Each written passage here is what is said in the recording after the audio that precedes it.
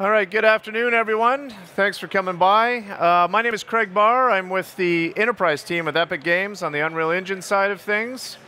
I'm going to take a brief overview here in the next 20 minutes of Twinmotion. Um, we're going to take a look at some beautiful visualizations with Twinmotion. We'll do an overview of how Twinmotion works, and we'll talk about a little bit about what's to come with Twinmotion as well.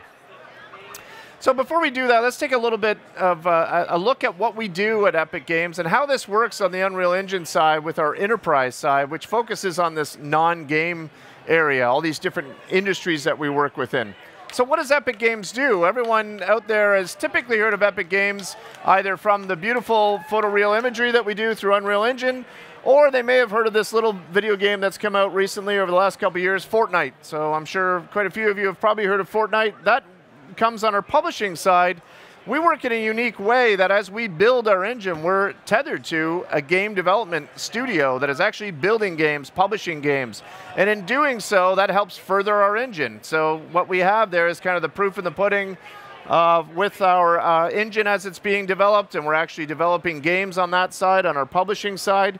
And then over on the other side, what we have is our software development side. And this is where we get into, of course, the development of things like Unreal Engine. And we'll be uh, developing further Twinmotion here, which we'll take a look at how that will be in a moment. But on that side, on the software development side, we kind of divide into two spaces. The game side, of course, so we cater to other game studios where they use Unreal Engine to create uh, most of the top AAA game titles that you're probably familiar with. And on the other side, we have what we call our enterprise side, and that's where we work in the non-games industries. So four areas of focus that we work within there. The AEC, or the Architectural Engineering Construction. Uh, we work in manufacturing and design, product design, automotive design, film and television, a lot of amazing, exciting stuff happening in film and television these days, and of course, training and simulation as the fourth area in that enterprise space as well. Um, and we have many different customers out there from all ranges of industries using Unreal Engine in really cool and compelling ways these days. So the enterprise team uh, is built to service or cater to these industry needs here. So we have a dedicated team that's uh, a global, worldwide team, uh, dedicated and focused on all of these non-game or other industry uses. Um, and a lot of these developers have come from all different industries or have even come from the Unreal Engine development side that have been there for years developing the amazing uh, product that is Unreal Engine. So Unreal Engine really quickly here, it's very artist friendly. Whether you're a uh, really in-depth programmer, you can certainly jump into Unreal Engine and do very complex thing on a programming side, or you can be completely uh, devoid of the programming side of things and what we have is a very artist-friendly workflow where you can do very powerful things still with code in the sense without actually having to program or write scripts, where you can use our visual scripting, uh, which we call Blueprint, which allows you to connect a bunch of nodes and have access to functions and variables that you would, have a, you would be using typically in a code-based or programming sense. Blueprint enables artists to quickly do the exact same functionality by connecting a series of nodes to be able to do really unlimited amounts of things or whatever it is they may want to do. So of course, the, one of the coolest things with Unreal Engine is production proven. Buy all those triple game, ga game titles that you've seen over the years. Unreal Engine is certainly nothing new. You know, we're coming up to, it's this is decades in, in the development of this engine now. Um, so what we strive for and what we uh, celebrate with our engine there is our capabilities within the photorealistic ability to build amazing visuals or standalone applications or immersive reality experiences. Very high performance in, uh, engine. Uh, one of the cooler things that we've added uh, over the last few releases is built-in collaboration. So you can actually be working in Unreal Engine and have somebody on the other side of the planet inside your viewport working with that data or that design in there as well. So some pretty amazing stuff. Uh, the public, the source code is made public. It's available for Unreal Engine, so you can customize Unreal Engine to what you want it to be. And probably the biggest uh, point on here is that it's all free. You can download Unreal Engine and use this right now to create any one of these type of experiences, whether it's imagery or animation or VR, whatever it may be. You can grab Unreal Engine right now and do that. So this idea of Unreal Engine with this one asset, many uses. So we saw some of those uses before, but the cool thing, the way Unreal Engine works, is very easy to grab some data, wherever that data may come from, and maybe a complex architectural model or an automotive model. It's very easy to go in and create something simple like really high-res photoreal imagery, or video output of right out of Unreal Engine, but at the same time, be able to just, all of a sudden the client says inevitably, we want this to be an immersive experience or a standalone interactive application, or we need this to be an immersive virtual reality or augmented reality experience. Simple to do with the data that comes into Unreal Engine. It's very quick and easy to do that as, as a development platform. So that was Unreal Engine on the side of things here. So what's Twinmotion? Well, Twinmotion really simply is this idea of click and go. Twinmotion is Unreal Engine underneath the hood of things. We have a very simple UI over top of it, and it, of course, keeps it very simple in the, in the way that you can work with this. We're going to look at some examples, and I'll, I'll jump into uh, Twinmotion here in a moment as well. But the idea behind Twinmotion is that we have people out there that might work with complex CAD data, maybe the, on the architectural side, for, as an example here, that don't have the knowledge or the experience or even the want or desire to know what goes on deep inside Unreal Engine. They want to bring their data in quickly, be able to create beautiful visuals very quickly and output that very quickly. And that's exactly what Twinmotion is about. So we get these things like nice asset libraries, the ability to, to, to create one-click animation. We'll take a look at a couple examples here in a moment. So the, the fine folks over at Happy Mushroom were uh, uh, happy enough to let me use this within this presentation. I thought this is an excellent demonstration of how Twinmotion works. It's this drag and drop functionality, bring in that building data set and actually create an environment in the background around it, start to add in props or different urban structures to be able to start populating the scene with something to make it come to life. Um, and all of these are just using the Twinmotion asset library there. Of course, characters or things like uh, props like park benches, the different materials, um, foliage, trees, all sorts of different things that you could apply in a landscape. And there's the ability to add in people really quickly into that as well. And they take this actually to a really cool level where they start to add in water, they deal with the, uh, the vegetation in here, and they actually start to add in some, some birds, and they even throw a plane into the entire scene uh, you can see them dialing in the daytime as well. You can simply dial in the time of day or the seasons or maybe the weather. You know, here they throw in an airplane and fire that up in the sky and put a quick animation on that to have that flying over, throw some fish in there. Really quick and easy to work with and output something really cool and compelling very quickly as well. So Twinmotion, again, that same idea with Unreal Engine, one asset, many uses. We want you to be able to get your data in there very quickly and create beautiful high-res still imagery uh, interactive experiences, video output, whatever it may be. We have a lot of people that jump in with their data and very quickly they're outputting 4K visualizations of architectural data as well. So some samples here, uh, some Twinmotion customer, customer samples that uh, uh, I have here just as a brief sample. Um, some different architectural design, people doing large scale urban projects, or maybe they want to do interiors and work with small scale, maybe a housing project or something. And this idea of grabbing data, bringing it in quickly, configuring things, uh, dragging and dropping things in there, putting in things to kind of bring it to life, doing time lapse like this with time of day or whatever it may be, working with different camera effects, you know, depth of field or different things like that. Um, still imagery here, uh, creating beautiful high-res still imagery very quickly out of Twinmotion. Um, and also non uh, you know, NPR, non-photorealistic rendering, so stylized rendering, maybe something like a blueprint or a sketch approach. All of this comes with Twinmotion. I think I also mentioned, just like Unreal Engine, this is free. We acquired Twinmotion and we took the product and we've made it free. You can grab this right now. Um, it's important to note on that, that license that you grab is the full version of Twinmotion, and that license you have will be free forever, but we're only going to offer that free download until the fall. So in November, we will cease that free download, so grab it now and start using it. And the reason why we're going to cease this is we're going, we have plans for this. We're going to update the uh, version of Unreal Engine. We'll bring in some performance enhancements. Uh, we want to bring real-time ray tracing into Twinmotion. And one of the coolest features is we want you to be able to bring your data in really quickly, win a job with it, convince the client of what the job's going to be, and then continue developing that by sending that to Unreal Engine. So you'll be able to do that with the the later version of Twinmotion once we get into development of that as well. So here's some examples here of some kind of uh, you know more entertainment ideas of, of, of, developing or or taking a look at environments perhaps for a uh, a non-architectural um, uh, standpoint. So it might be building a set or something that has to put together a, a very quick proof of uh, concept. And Twinmotion, of course, of course, is very capable of doing that as well.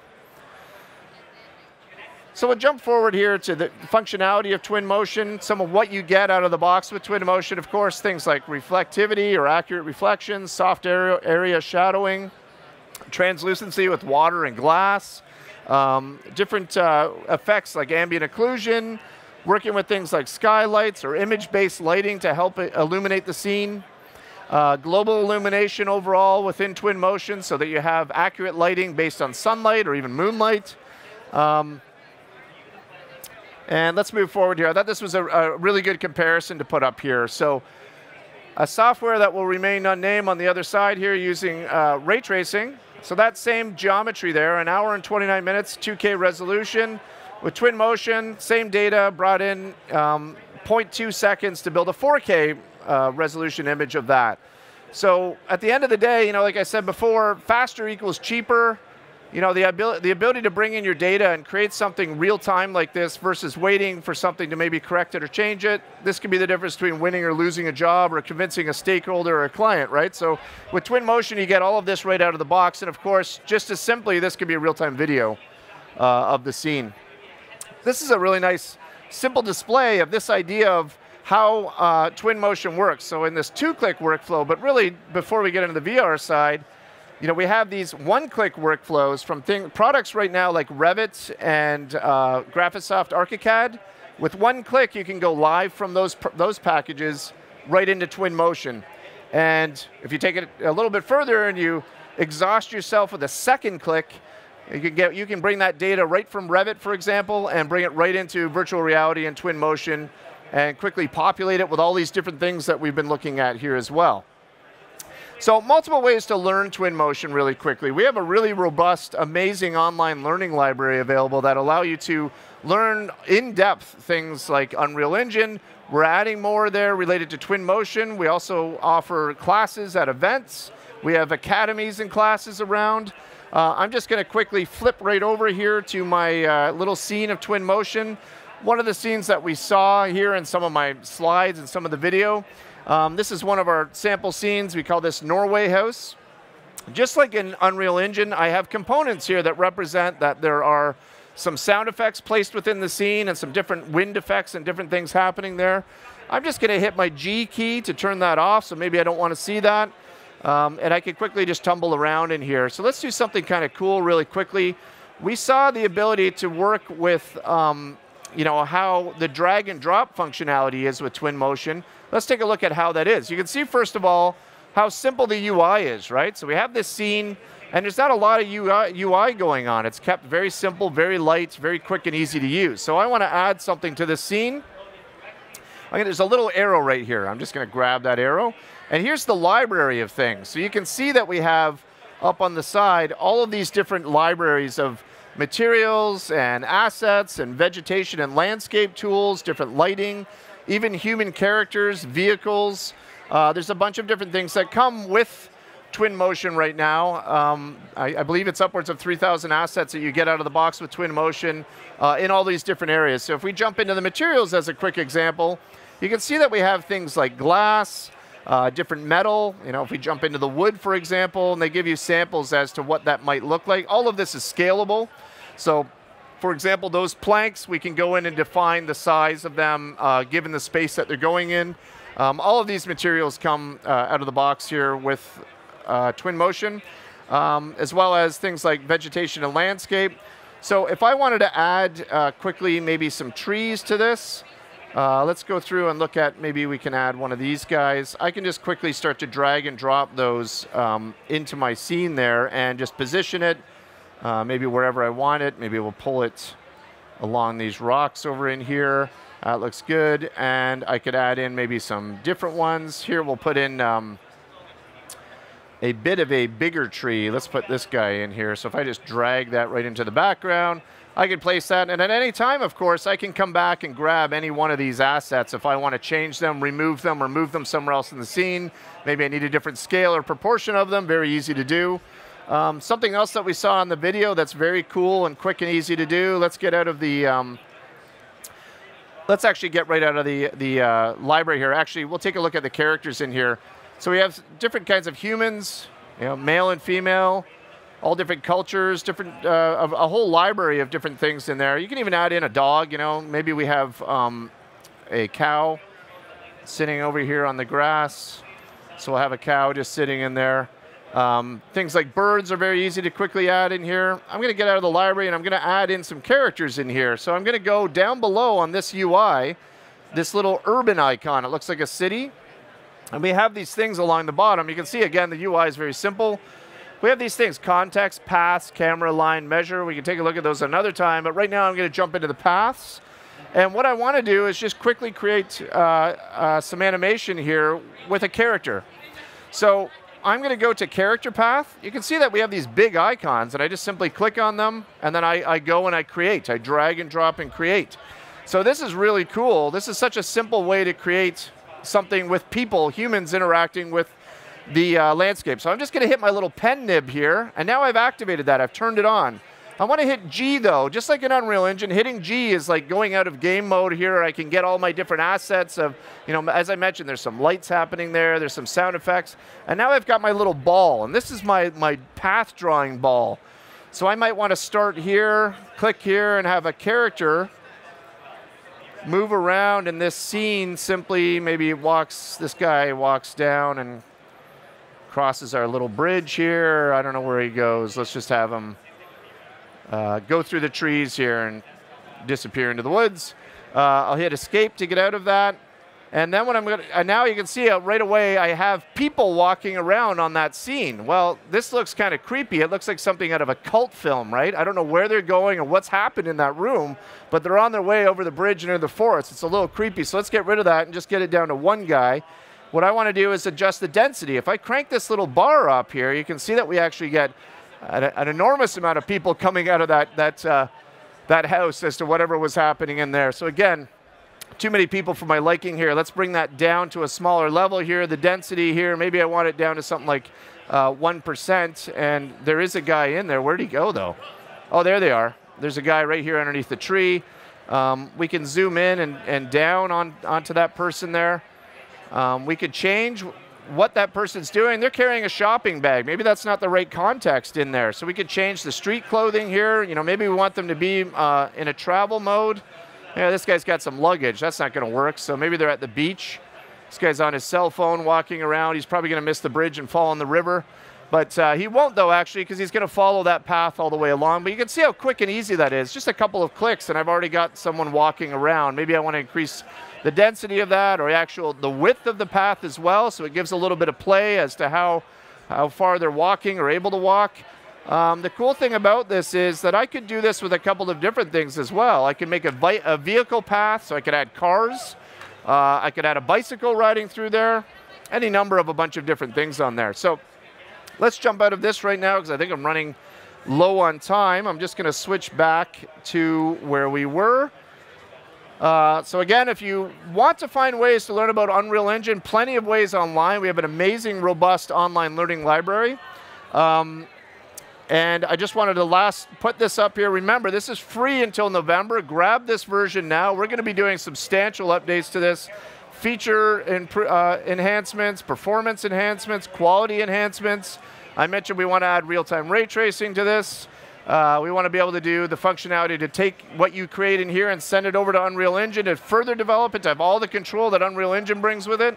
Uh, so definitely check it out online and be able to grab and work with your data really quickly in Twinmotion. We see people creating amazing things in the architectural space, but we also see people creating stuff even in the entertainment space where they're creating set extensions or set concepts, uh, set designs even. So that's it for me. I want to say thanks for coming by and watching. I'll be doing an AEC thing at 5.30 if anyone's interested as well. Thank you.